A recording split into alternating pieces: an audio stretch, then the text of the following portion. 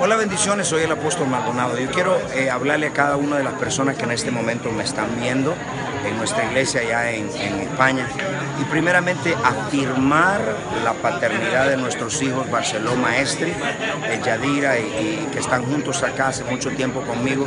Son uno de los hijos más fieles que yo tengo. Yo quiero hablarle a todos ustedes, pueblo, eh, siempre en las iglesias hay personas que se levantan en rebelión y ese es el mismo espíritu del diablo, el cual ocurrió cuando fue tirado el diablo del cielo.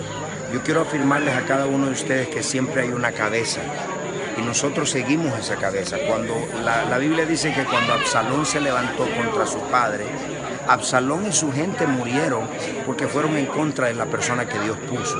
Dios ha puesto los pastores Barceló Maestre allá para que estén eh, por su cabeza y ellos son mis hijos.